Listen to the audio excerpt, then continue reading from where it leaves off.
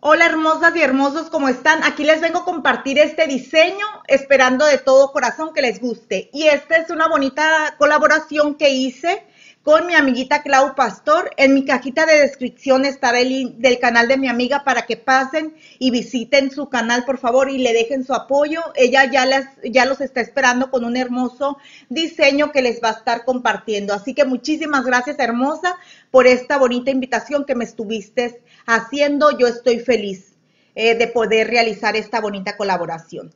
Y aquí como pudieron ver, pues ya nos estuvimos aplicando los tips. En esta ocasión vamos a estar trabajando con eh, punta estileto. Le dejé la cajita. Estos tips, pues yo se los compro a Mosi Pérez. Me súper encantan los tips de ella. Así que así la pueden encontrar en Facebook por si les interesa los tips. Y bueno, aquí como ya es de costumbre, estuvimos aplicando Protein Bond solamente en las uñitas naturales.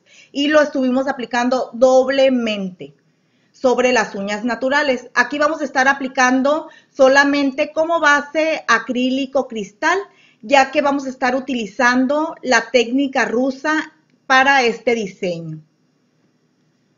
Y pues estuvimos aplicando la primera perlita en área de cutícula. Aquí continúo aplicando la siguiente perlita, aplicándola en el centro y barriendo completamente hacia la punta.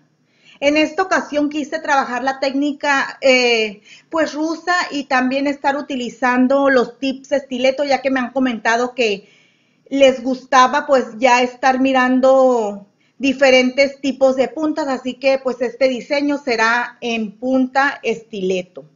Y me gustó muchísimo, la verdad, nada más que pues sí estoy más acostumbrada a realizar otro tipo de punta, la que normalmente trabajo, pero pues eh, también luce muy bonita, muy bonita esta, esta punta en estileto, también me gusta. Son unas de mis preferidas.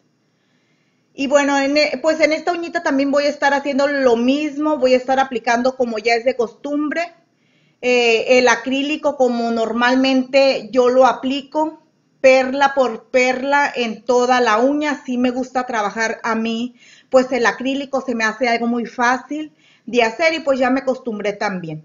Cuando ya está el acrílico completamente seco, vamos a estar limando. Aquí solamente vamos a estar puliendo las uñitas donde vamos a estar haciendo el efecto mármol. Donde vamos a aplicar la técnica rusa, no. No vamos a pulir porque queremos la uña con mucha porosidad. Retiramos todo el polvito con Synergy White para quedar completamente libre de polvo. Vamos a estar utilizando para hacer la técnica rusa mi mezcla eh, verde esmeralda. Es un acrílico que me súper encanta, muy brilloso y aparte es muy elegante. A mí este, este verde me súper fascina y pues yo lo quise utilizar para este diseño.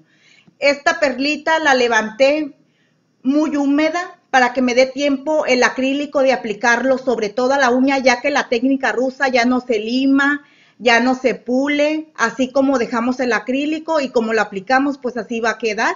Así que hay que levantar las perlitas un poquito más húmedas para aplicar el acrílico pues más suavemente y pues con más tiempo para dejarlo lo más parejito posible y lo más bonito sobre la uña.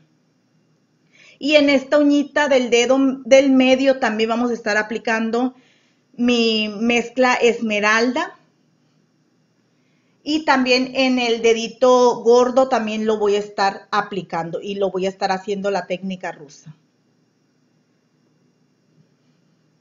Y ya para terminar, pues esta uñita, ya aplico esta última perlita. Las perlitas también están un poquito más eh, chiquitas que las perlas que normalmente yo aplico, ya que es, es una, que sea más bien una capita muy delgadita. Y así es como queda. En esta uñita vamos a estar haciendo el efecto mármol esta es la manera pues más fácil que yo he visto para hacer este efecto. Vamos a aplicar circulitos con esmalte en blanco y un poquito, como pueden ver, de esmalte negro, porque es muy escandaloso el esmalte eh, negro. Y pues con una bolsita de plástico voy a, dar, pequeños eh, golpecitos sobre la uña y así es como queda algo súper, súper, súper fácil. Me súper encantó este efecto. Yo les quiero compartir, aquí pues vamos a limpiar lo que estuve, lo que estuve manchando con, con acetona y ayudándome con esta brochita. Yo este diseño se los quiero estar compartiendo nuevamente porque me súper encantó en tono rojo o tinto y el efecto mármol como lo estuvimos haciendo en esta ocasión. Que la que el plástico que estén utilizando sean ese plástico que cuando lo mueves haga ruido, como que, como, como que pues hace ruido. Ese tipo de plástico a mí me ayudó más. Y pues es, es una bolsita con la que yo compraba mi comida, pues mi fruta, mis verduras, donde vienen todas eh, pues las frutas, las verduras, yo estuve recortando una pequeña parte para lograr hacer este efecto y de verdad que queda muy bonito. A lo mejor van a decir, pero casi no se parece, pero es lo más parecido eh, pues al efecto mármol, por si a ti no te queda, porque a mí en acrílico la verdad yo no lo supe hacer, se me hizo súper difícil y por eso busqué esta manera y me súper encantó, queda muy bonito. Y ya nada más cubrí con gel UV. Donde aplicamos la técnica rusa, no apliqué gel UV, así quedó la uñita. Por eso yo les recomiendo que utilicen eh, acrílicos sólidos porque son los que más bonitos se aprecian y se prestan para esa técnica rusa. Y pues aquí nada más vamos a estar decorando esta uñita con unos Swarovskis doraditos y vamos a estar utilizando esos palitos tan bonitos y modernos que me encontré, me súper encantaron para decorar nuestras eh, piedrería. Me súper encantó. Aquí vamos a estar haciendo unas aplicaciones de balines. Y pues así es como queda el decorado de estas uñitas.